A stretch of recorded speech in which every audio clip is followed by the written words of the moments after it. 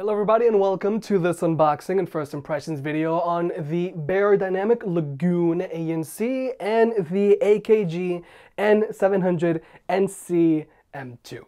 Now just keep in mind this is simply an unboxing and first impressions video and you can expect a full review on both of these guys later on in the future. But right now I'm just sharing my first thoughts on both of these headphones because both of these headphones have made a very mm, first impression on me. Now, first off, let's talk about the Lagoon ANCs, because I got a lot of things to say about these headphones. Now, these headphones retail for $400. And plainly said, these headphones do not feel like $400. To me, after all of the headphones that I've reviewed so far, I think these headphones would warrant maybe a $250 price tag. Now, the thing about $400 headphones, that's where we get into the realm of headphones with a more out there design like the Bose NC700s, or headphones start to use more premium materials like let's say the Bowers & Wilkins PX7s and their carbon fiber composite arms, or the Sennheiser Momentum 3s, which to me, the thing that really makes those headphones special to me uh, are their uh, sheepskin leather ear pad and headband. But none of that is present on the Lagoon ANCs.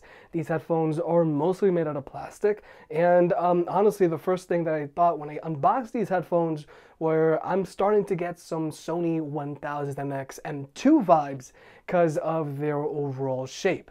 And also, the plastic on these headphones feels very you know, not amazing, but really the biggest thing about them is uh, this headband. It doesn't really click and stick like on some other headphones. It's one of those very uh, flimsy headbands where, you know, if you if you're too rough on them, they're gonna constantly move. So uh, build quality wise, uh, yeah, these aren't these are not $400 headphones.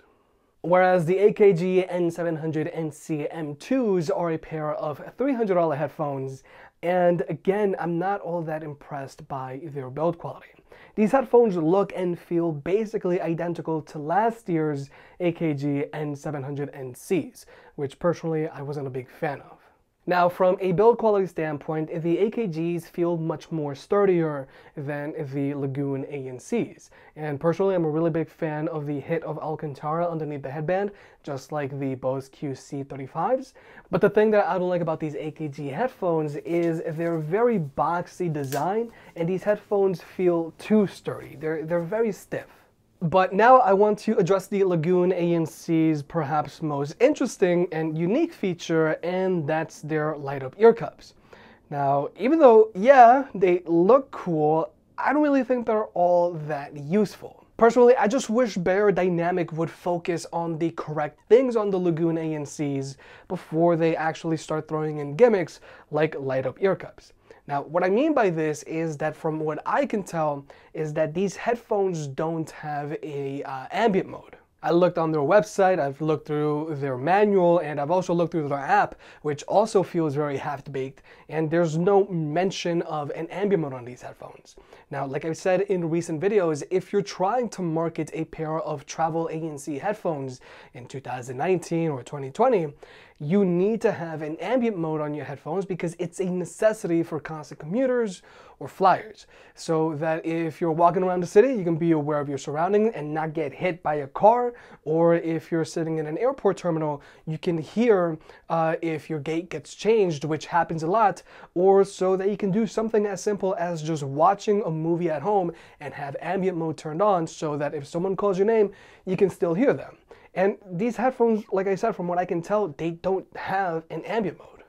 So Beyerdynamics, before you start working on light up ear cups, make sure that your headphones meet the bare minimum for ANC headphones in 2019 and 2020.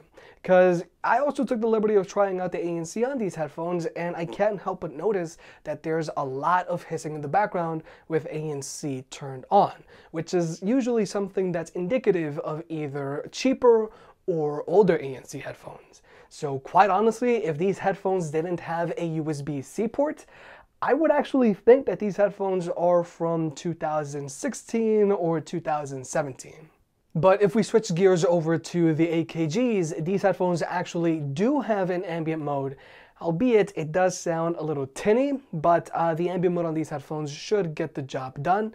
And from what I can tell, there's really no cabin pressure on these headphones, which is good, and there's no hissing in the background, unlike the Lagoon ANCs, which is also good. Now, it's also something to keep in mind is that these headphones have the type of ANC that is constantly uh, adjusting itself depending on your surroundings, like let's say the Beats Solo Pros or the Beats Studio 3s.